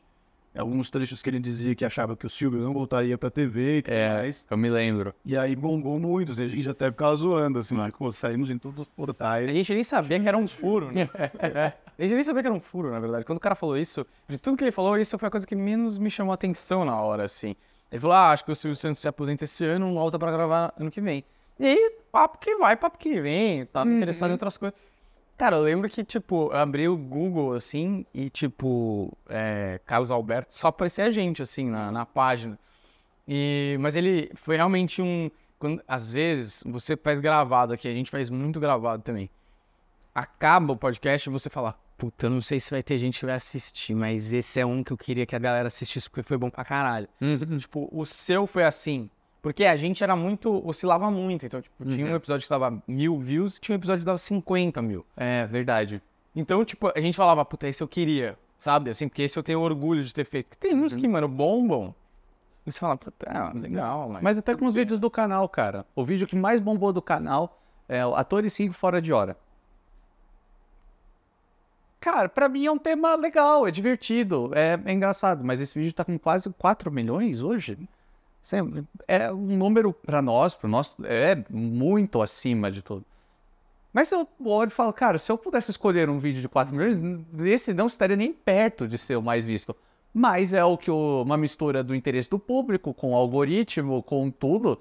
E beleza, legal que tem, mas a gente sempre tem essa sensação. Eu já fiz pesquisas assim de coisas, tem um que eu faço de que eu fiz que era Chaves e a filosofia.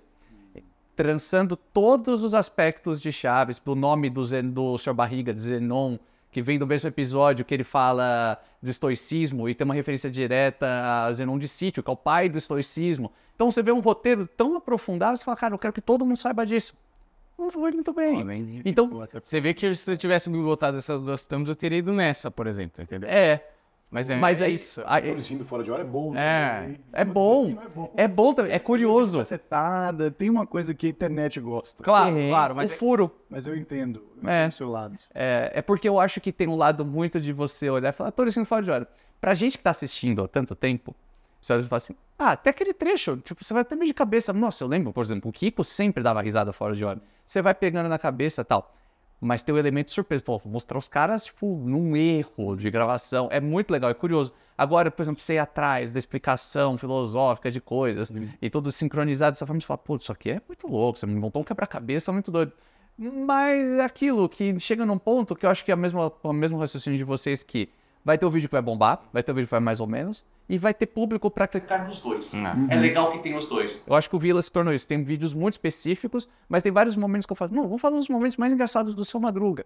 Pro cara que chegar depois do trabalho e ligar a É TV, ele não quer ouvir um monte de data, ele quer relembrar e, meu, tô de saco cheio do trabalho, de pagar conta e tudo mais. Meu, deixa eu ver o seu Madruga caindo no chão e dando risada.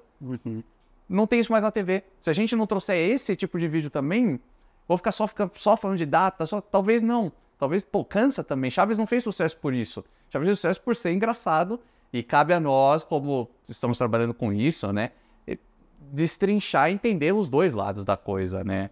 Eu acho que acaba sendo mais ou menos esse sentimento, né, do vídeo que vai bem e o vídeo que vai mal. Sim, total. E- Mas eu acho que até o vídeo que vai bem, por exemplo, esse dos atores rindo, ele acaba virando uma vitrine muitas vezes pro cara que vai clicar no, Sem no- dúvida. da filosofia, né? É, mas assim, é, é muito difícil, acho que pra gente que é produtor de conteúdo, é, disputar na nossa mente o que você quer fazer, o que te dá orgulho de fazer, e aquilo que você sabe que é o clickbait, que vai dar muito view, que vai dar grana, que vai divulgar o seu trabalho e tudo mais. Então, às vezes a gente fica nesses dilemas, né, é, de que caminho tomar, e você às vezes tem que equilibrar os dois para que a grana entre, para que você chegue em mais pessoas e tudo mais, e por outro lado você continue alimentando a sua alma, né? Porque se você ficar fazendo só isso aqui, cara, você fala, mano, eu tô fazendo um negócio que eu não gosto. Eu larguei tudo pra fazer uma parada que eu queria, porque eu gostava de fazer, e agora eu tô na mesma parada, no mesmo trabalho de não gostar e de não estar me sentindo satisfeito, preenchido, por grana de novo. Então, peraí, o que, que aconteceu no meio do caminho que eu saí do meu emprego tradicional pra fazer uma coisa que eu gosto e eu tô fazendo um negócio que eu não tô afim de fazer, tá ligado? É. Então, eu acho que é uma. São dois caminhos complicados que você tem que equilibrar, até pelo menos você conseguir estabilizar só aquilo que você gosta de fazer e fazer só aquilo. Uhum. E mesmo assim, ainda vai ter partes do trabalho que você vai ter que lidar, que você não é muito fã. Mas eu acho que é o. É o maior problema de todos nós até ter uma carreira muito estabelecida, assim, sabe? Com certeza. Eu sinto que esse é um dilema que nós entramos, nossa, eu, Felipe, cara, a gente fala disso o tempo inteiro. Porque assim, o canal começou. Até você falou do Rafinha na época que ele fazia oito minutos. Era uma época em que o YouTube era aquilo. Exato. As pessoas ficavam pra ver oito minutos e tava bom. Faz uma entrevista pequenininha tal. Era um baita formato. Sim. Jamais se aplicaria hoje em dia. É. Rafinha não ia se sustentar, mesmo sendo Rafinha, não ia ser esse o foco dele. Você tem que fazer uma entrevista longa, recortar aquilo em um monte de vídeos para os cortes, e aí você vai lá e po- posta trechos nas redes sociais. Você precisa fazer muita quantidade. O Vila começou com um vídeo por semana com cinco, com cinco minutos. Cinco minutos, né, Fê? Cinco, oito. É. E ele falava, ah, acho que tá show. Daqui a pouco começou a falar, putz, vamos estender um pouco o tempo? 10, 12, 13? Daqui a pouco, vamos pôr mais um vídeo? De um ano e pouco, cara, vamos fazer três vídeos? Aí, pô, vamos começar a fazer live, porque precisa, as pessoas querem conversar também. Lives, que a gente fazia aquelas lives do Festival da Boa Vizinhança, mas aquilo exigia, nossa, todo um aparato. O quarto do, do Felipe virava um- uma, um, um estúdio de TV mesmo. Colocava uma TV no chão pra ser quase o meu TP embaixo. Aqui, controle de transmissão de, dos comentários e de um monte de vídeo que tinha que disparar. Não dá pra você fazer aquilo com uma quantidade, né, muito, sim, daria se a gente tivesse mais dinheiro e mais gente pra trabalhar, mas não é o caso. Então, você precisa sempre hoje fazer muito de tudo. E isso muitas vezes me incomoda, porque eu não queria estar fazendo muito de tudo. Por exemplo, isso aqui é um negócio que eu queria estar fazendo há muito tempo. Eu já tinha essa ideia, putz, há muito tempo. Demorou para sair porque a gente estava fazendo muito de outras coisas. Então eu falei, cara, que hora eu vou conseguir fazer? Entrou naquilo. Eu falei, cara, eu não sei se as pessoas vão assistir, eu não sei se as pessoas vão ter, vão engajar pra caramba, porque eu não quero que o Vila Chaves vire um podcast. Não, Vila Chaves segue, mas eu quero ter essa aba para conversar com meus amigos, conversar com pessoas que são fãs, quero entender como Chaves influenciou a vida, quero trocar ideia, quero apresentar pessoas que eu admiro para um, um público que talvez não conheça, por prazer, cara. Esse daqui é um, é- tem um momento que você precisa equilibrar. Então esse, o- esse momento é o tipo de coisa que você fala assim, isso aqui não é pela grana, isso aqui é pra trocar ideia com a galera que eu gosto e tirar do papel um negócio que eu já queria fazer há muito tempo. É difícil, cara. Resumindo, é difícil pra caramba. Cara, a gente tá nesse momento do planeta também. ah, a gente tá tentando se desapegar das coisas que a gente precisou fazer no caminho que foram as coisas que nos sustentaram até agora para voltar para comédia, porque é isso. A gente tava fazendo um monte de coisa que eram coisas legais e que atingia muita gente, mas não tinha mais nossa alma ali. A gente tava realmente Uhum. Cansado e, e se sentindo frustrado por estar tá num caminho que não é o nosso. E a gente agora tá tentando se, se, se transformar e se transformar em nós mesmos de novo. Isso é muito louco. A gente, ah, antes de, dessa fase, foi diminuindo aos poucos. A gente estava postando 550 vídeos por mês no canal. Entre cortes, entre shorts e entre os episódios. Que a gente estava fazendo praticamente todo dia, né? Ah. Uma época. E a gente achou que tava fazendo demais. Antes, do, antes deles chegarem, gente aqui, Felipe, eu não sei como a gente posta mais vídeo nas redes sociais, não dá tempo, não tem braço. Mas você entende como virou um bagulho industrial de coisas que a gente não se orgulhava de estar fazendo, mas que a internet pedia e a gente foi, foi. Cara, foi aumentando, aumentando, aumentando isso. A gente começou por um vídeo por semana e eram, eram cinco cortes, era eu que editava até, então eram cinco cortes de um episódio que iam entrar um a cada dia. Então, tipo assim, Segunda a sexta, essa era a nossa ideia. Uma, um episódio integral e é de segunda a sexta um corte por dia e mantendo assim. E a gente achava que a gente tava trampando pra caralho. Ah, E aí chegou 550 vídeos, cara, e... E não tinha mais sentido aquilo. Agora a gente tá com dois vídeos por dia. Que já é muito, se você pegar aí em média, né? 30 dias, né? Já tem 60 num canal, mais dois por semana, então são 62. Então de 550 para 62, diminuiu bastante. É, e a gente tá fazendo tudo que a gente queria ter feito. Então tem um segmento de sketch, tem um segmento de conversa que é o negócio que a gente quer manter para sempre. Tem o segmento do, do Escrotocast, que é, que é uma sketch, mas é uma sketch mais longa, então quase um seriadinho que faz. Tem o um quadro de palco que a gente está fazendo também no show agora. É, então a gente está também mostrando um pouco mais do nosso trabalho do palco, que é de onde a gente veio e é o único, único negócio que a gente tinha certeza que a gente ia fazer para sempre na vida. Mas está sendo duro, cara. uhum. Tá, a gente perdeu bastante gente é, e não perdeu até em números. Os números eles continuam relativamente iguais, mas no vídeo a vídeo ali a gente vê que a galera já que tava ali todo dia no canal não tá mais. Então você fica meio assim, será que a gente aguenta? É. Será que até a gente é, é, trazer de volta exatamente essa galera que queria só ver a gente fazendo comédia e uma galera que curte a gente fazendo comédia vai sobreviver o canal até lá? Uhum. A gente fica nessa, todo dia a gente acorda ou não dorme pensando Ah. nisso, né? Crise de ansiedade, tudo. Ah, é porque tem uma coisa assim, o Humberto tem um tempo de comédia, tem um tempo de comédia razoável, assim. E por muito tempo você não tem nada palpável, no sentido de você tem uma carreira, você faz stand-up, você faz um show aqui, um lá, e tem uma certa regularidade, mas em termos de público, você não tem público, você não tem uma grana, um, um volume de dinheiro muito grande. Às vezes você acerta um mês de fazer um evento, de fazer outro evento, sei o que lá, uns shows bons e tal, mas um volume de grana que você fala, caraca, é a minha empresa, é o meu público e tal. Então, até você ter isso, você não tem nada a perder. Você tá dando tiros e você torce para que acerte algum lugar. Quando a gente acertou o planeta, é muito doido isso. Agora, querendo ou não, um dos nossos canais tem 655 mil inscritos, o outro tem 315, sei lá. É bastante gente, cara. É, e aí você fala, legais. cara, do caralho, tipo assim, conquistamos uma parada que a gente achou que ia demorar anos, e não sabe, você não sabe dentro do show business, assim, quando que você vai acertar, quanto você vai acertar, o tamanho que você pode chegar. Você sempre tem aquela dúvida, assim, quando você tem uma ideia, eu sou um gênio ou um idiota? Né? Toda ideia você fica naquilo até você ver número. É. Até você falar, bom, você, quantas pessoas compraram ingressos, as pessoas estão assistindo.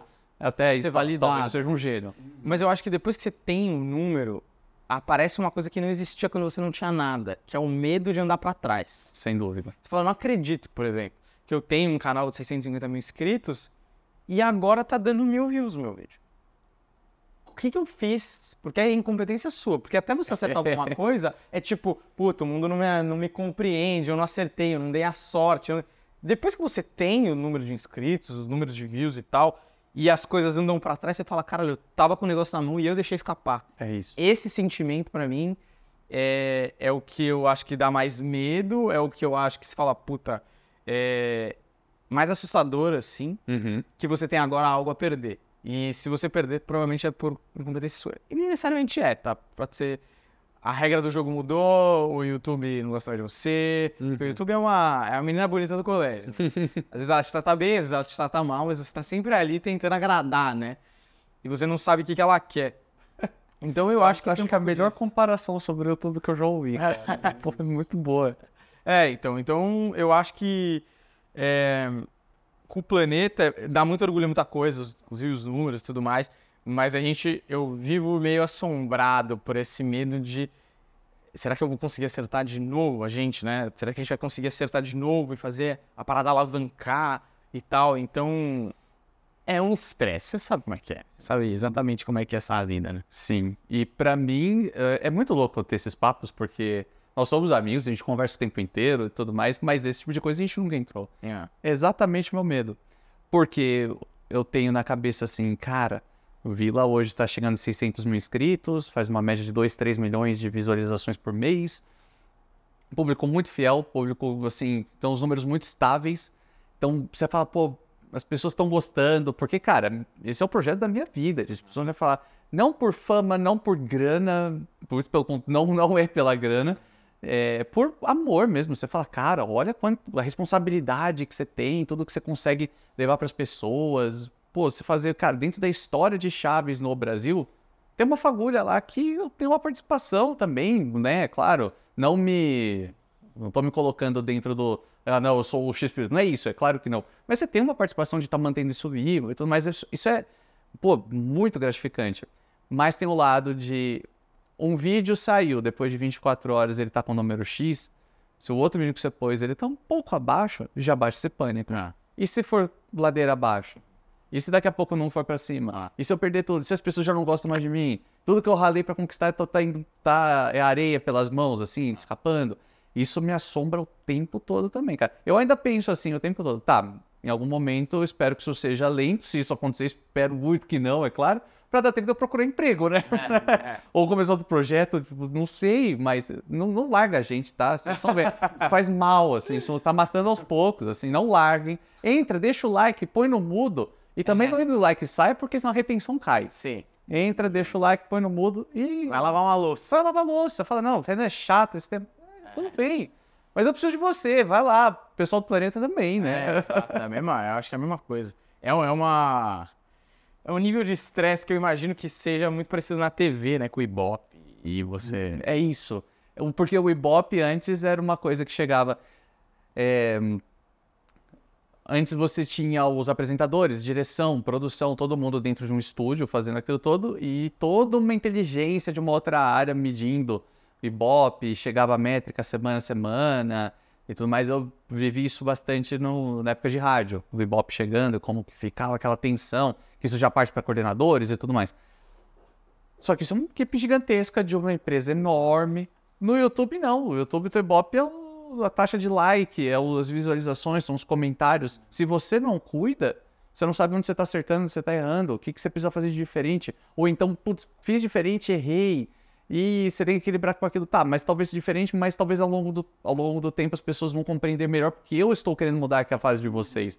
Como que é lidar com mudar, assim, é... Cara, a gente tem o YouTube que, por exemplo, na TV, os caras têm uma equipe Desculpa. gigantesca, milhões de pessoas ali pensando em como melhorar, em como achar soluções. Você contrata uma assessoria, uma equipe de pesquisa, você vai entender a máquina, você vai entender diretamente o ser humano. O nosso veículo, cara, é um veículo que muda de ideia o tempo todo, É. do jeito dele, não te avisa. Aí a gente tem acesso ao gerente do YouTube. É. Cara, esse último, a ge- a gente conseguiu conversar com ele duas vezes ou uma É, vez? Duas. Cara, essa última vez, ele desmarcou quantas vezes? Três. Cara, o cara desmarcou duas vezes. E pra conseguir marcar é um mês. E aí, tipo, mano, teve uma vez até que foi muito esquisito, viu, o seu YouTube, que o cara desmarcou e ele, ele desmarca na hora que quer, ele te avisa. Ah. E ele remarcou, tipo assim, meio que pra um pouco depois. E, tipo assim, mesma coisa que claramente a gente não ia conseguir é, é, entender a, a- a situação e estar disponível pra ele, sendo que a gente já estava e não compareceu, assim, sabe? Hum, hum. Então, assim, a gente não tem ideia de como a gente pode melhorar. Ele pode simplesmente chegar amanhã e dizer, não, isso aí tudo que vocês estão fazendo não faz sentido. Essa época do 550 vídeos aí foi uma orientação que ele deu pra gente de, olha, tá faltando shorts. no canal de vocês. Ainda tem pouco, vocês deveriam botar shorts, porque a gente tem dois canais. Hoje a gente tem, tá cuidando de cinco. A gente tem o Projeto Farol lá também, que são dois canais de espiritualidade, que a gente pegou essa galera que tava no planeta e colocou pra lá. E tem o Planeta Comédia, que é um outro canal de comédia que a gente tá fazendo também. Mas ele falou, ah, tá faltando no canal integral. Shorts tem que ter no canal integral. Que a gente nunca tinha colocado porque a gente achava, poxa, se um problema é que um canal tem que ter vídeos longos e vídeos curtos, então a gente não pode colocar vídeos muito curtos porque a retenção completamente vai é, ser afetada. E aí ele vai, não, tem que colocar. Porque a gente começou a fazer. Já mudou o jogo, cara. Já não adianta mais. Já. Então a gente já voltou pra trás e, e tá muito nessa de buscar qualidade e não quantidade. Porque tudo que ele falou pra gente e que funcionou há cinco meses atrás, seis meses atrás, já não vale mais. Com certeza. E aí é isso, né? Produza shorts. Vou falar uma coisa pra vocês que acham que a gente tira muito dinheiro com o YouTube. Cara, eu, eu lembro que eu mandei um print no grupo do dia que eu vi isso, que eu tava. A gente tá fazendo um monte de shorts também, tentando, porque, pô, é, virou uma nova regra do jogo. Então a gente tá fazendo a cada dois dias um shorts, ou então um shorts todo dia, a gente tá nessa. Você que chegou no final do mês, a gente fez 170 mil visualizações com shorts e rendeu 3 dólares. Vou pegar aqui o número. E tu chega no número você fala, mas meu Deus, todo o trabalho edita, só 3 dólares, cara. E Porque tem, eu acho que é legal desmistificar. você 170 e poucos mil em shorts. Ó, vou pegar aqui um shorts de 8 milhões, tá? 8 milhões os shorts. Nós vamos descobrir juntos aqui quanto, qual a fortuna que fizemos aqui. Vocês vão falar se eu pago o churrasco ou não pago o churrasco. falar, Aquele né, espeto em mim, né? Tá ligado? É, Isso daí vai pagar aquela cerveja de procedência duvidosa no copo de plástico que, e a é, farofa. Exato, o gato, né? Tá o famoso gato. A carne a outra pessoa tem que A completar. gente tem um amigo que chama Juliano Coração. Ele é um monstro dos shorts, assim, do estourão do TikTok. Ele é muito bom. Sabe quem é, né? Sei. Ele. Acho que ele deve estar com 5 milhões de inscritos. Ó, shorts de 8.100 milhões de views do planeta, o maior shorts do planeta aqui. Nós ganhamos R$ 353,49. É, não vai ser um grande churrasco, né? Mas. 8 milhões, velho. Em quanto 350 tempo? conto. Em quanto tempo? Ah, desde 11 de novembro a 20 de agosto. Então, Ou seja, o churrasco daria pra estar saindo agora se você tivesse marcado ele em novembro. isso. E assim, com uma quantidade bem limitada de pessoas ou de comida. Exato. Escolhe um dos dois. Mas o Juliano, eu acho, posso estar enganado, mas assim, ele fez tipo um bilhão de views naquele mês em shorts só. Só em shorts. Ele ganhou 8 mil dólares, 7 mil dólares. Você fala, porra, 40 mil reais. Mas, Mas um bilhão é. um bilhão, um bilhão. Quando a gente pensa que no Brasil tem 220 milhões, isso é surreal. Tipo, um, mano, é muito difícil atingir um bilhão. E um bilhão é um milhão, é difícil pra caralho. Esse shorts tem 8 milhões. É tipo assim, muito foda um shorts. Então, é que tá, a gente tem números bons, mas nos nossos shorts o máximo que tem acho que é 35 mil. É, então. E aí, e aí, tipo, o cara faz um bilhão. Se o cara tá fazendo um bilhão e tá ganhando 40 mil reais, tipo, pensa que um bilhão é tipo um mês incrível. 7 mil reais, 7 mil dólares, sei lá. É. Puta, agora até tô na dúvida se 7 mil reais ou 7 mil dólares, tá? É. Mas, tipo assim. Que faz uma grande diferença, né? Exato. Mas assim, é, eu me sinto um pouco explorado. Porque pensa assim, um bilhão de views que sejam shorts de média de 20 segundos. Faz 20 segundos vezes um bilhão e você sabe quanto tempo e quantas pessoas ficaram no YouTube por sua causa. Porque essas pessoas estão assistindo os seus shorts. Uhum. E quantos anúncios e quanto você vai poder dizer para os anunciantes que as pessoas ficam na sua plataforma por causa dessa pessoa? E você está pagando uma miguel, porque a gente não sabe quantos por cento do teu vídeo você dá de dinheiro para o YouTube e quanto dessa porcentagem vai para você. Uhum. E você provavelmente não sabe, a gente não sabe, porque provavelmente é uma porcentagem ínfima. Sim. Porque se a gente soubesse, ia ter uma greve dos influenciadores no YouTube. Só que aquela coisa, se a gente se falar, ah, então vou sair do YouTube, e aí você vai ganhar dinheiro com o quê? É isso. Não tem, é um monopólio. Então é uma, é uma desgraça do capitalismo. A gente cai nessa tudo pra, pra gente ter aqui na prática que nós não somos donos do meio de produção do, do nosso próprio do nosso próprio trabalho. Apesar dele passar essa impressão, né? É, passa, porque você fala, pô, você tem sua própria empresa, você é dono. E cai naquilo, qualquer acerto ou qualquer erro Ah. é, é você. Na verdade, o acerto não, porque quando você acerta a mão, você fala, o algoritmo tá me ajudando.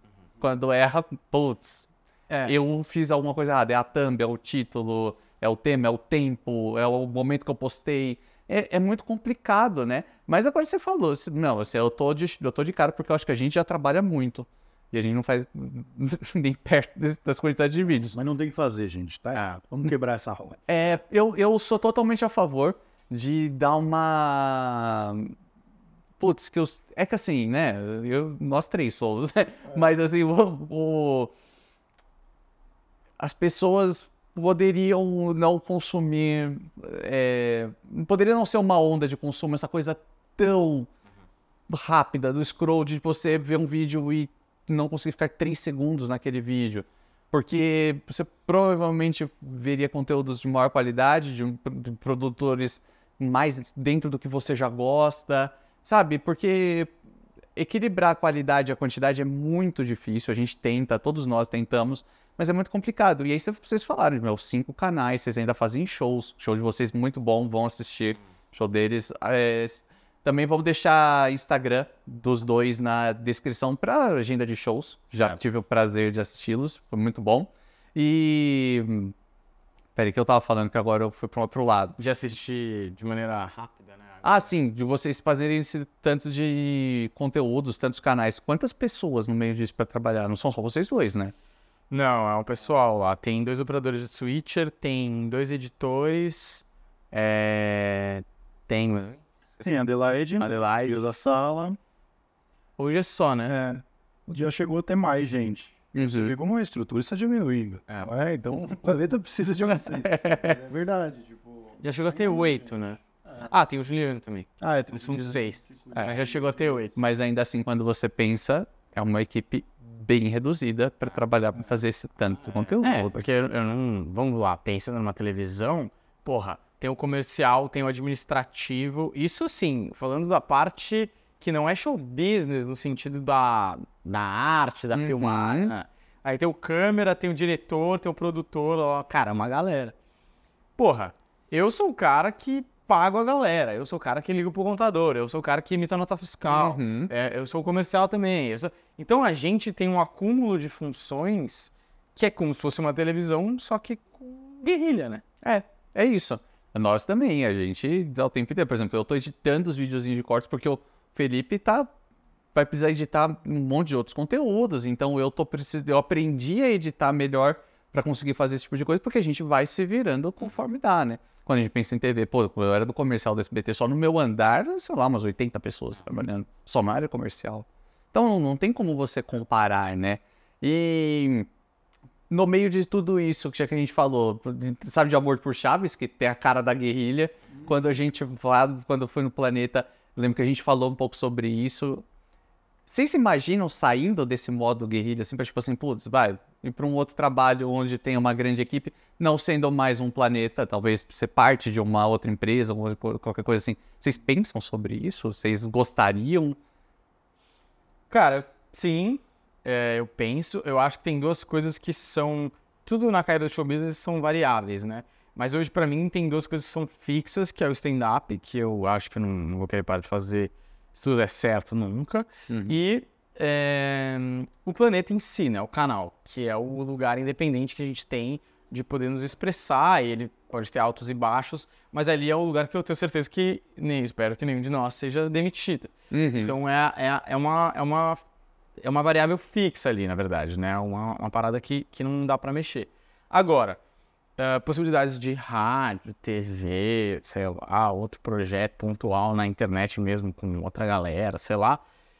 Eu acho que são possibilidades que podem ser estudadas e que se essas outras duas coisas conseguirem se manter, eu acho que deve ser legal pra caramba se aventurar em outras mídias, Uhum. em outras empresas e, e ganhar uma grana em um outro público e um outro formato e uma outra experiência, porque eu acho que a graça do show business também é você poder experimentar paradas, entendeu? Tipo, ah, porra, temos um programa de rádio, vamos ver qual é que é, o que, que a gente consegue fazer com esse outro formato, nessa outra mídia, com outro público, Uhum. se a gente consegue vencer aqui também e manter a outra parada lá, e de repente jogar um público de lá pra cá e de cá pra lá também. Então, sim, são possibilidades, óbvio, que de propostas, de levantar pilotos e grana, porque no final do dia é quem tá afim de apostar e patrocinar e, e etc e tal. Mas eu, puta, eu, eu estaria bem afim de, de co- começar coisas novas, sabe?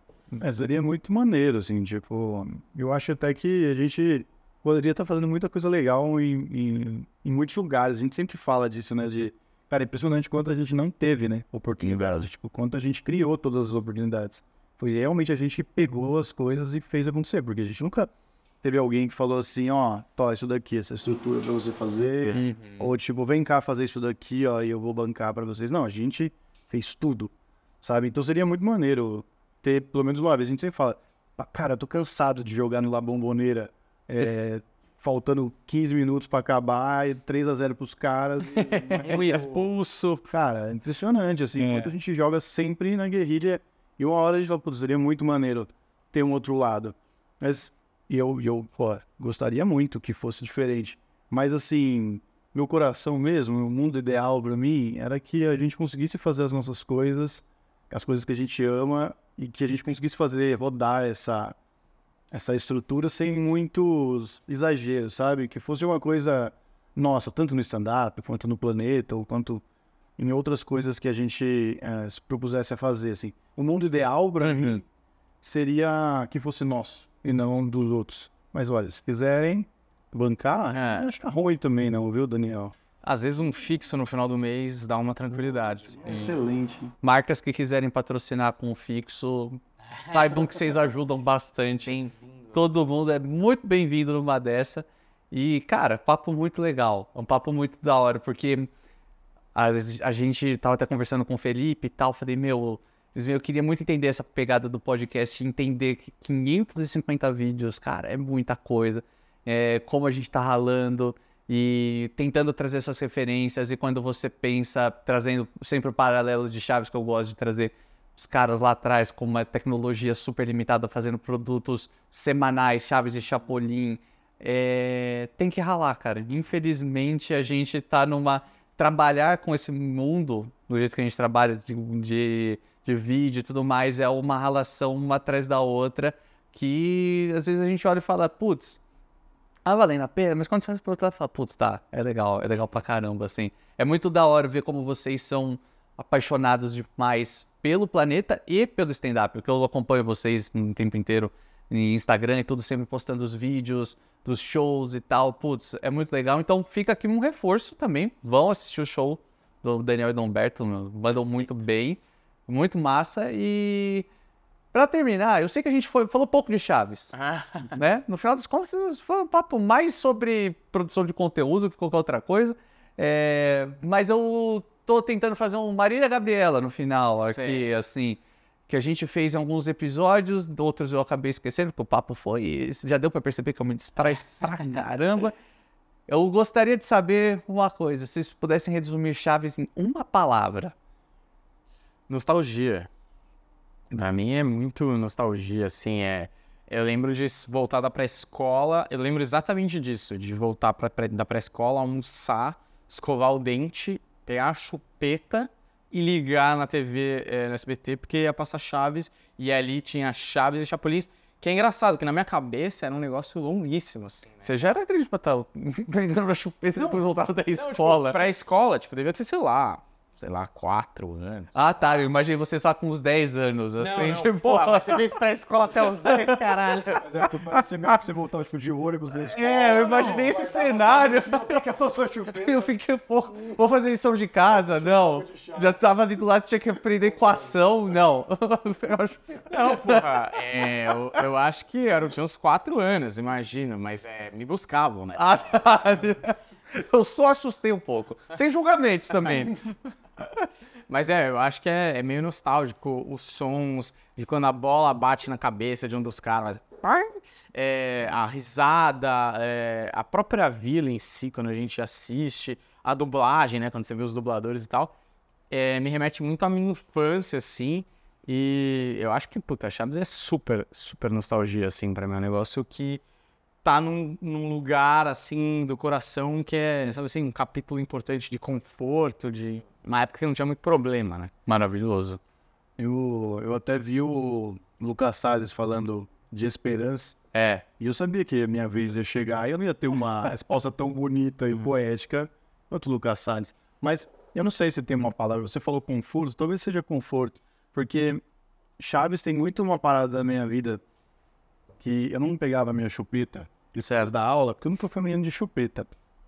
Mas, é, uma coisa que pega dessa vida, e justamente por tudo que a gente conversou aqui, é que, cara, fazer exatamente o que a gente quer naquele momento é uma coisa que eu não lembro exatamente quando foi que eu fiz, assim. Até eu tava zoando, esse, tipo, eu cheguei domingo em casa, cansado, e aí, tipo, eu deitei na rede, mas assim, durou, tipo, sei lá, 15 minutos. E eu já tive que levantar e fazer alguma coisa. E eu vi, Uhum. cara, tipo, 15 minutos de rede. E eu só queria ficar na rede um pouquinho, eu não gosto, sabe? Porque a vida adulta é a vida adulta. Então, tipo, Chaves me leva justamente pra esse lugar, que é um lugar que eu penso todos os dias, assim, o quanto eu queria ter de volta, sabe? Esse lugar de conforto mesmo, onde o tempo passava devagar e, e eu tava ali intensamente, não tinha mais nada que me interessava a não ser assistir e entrar naquele mundinho ali, sabe?